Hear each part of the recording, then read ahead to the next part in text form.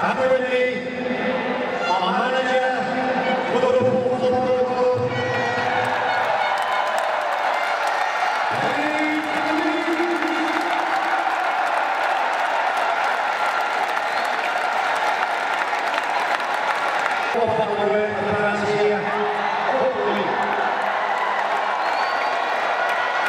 Hopefully this stadium will be full on Saturday night. Just one last word. Expect humility and a fantastic uh, performance from everybody involved.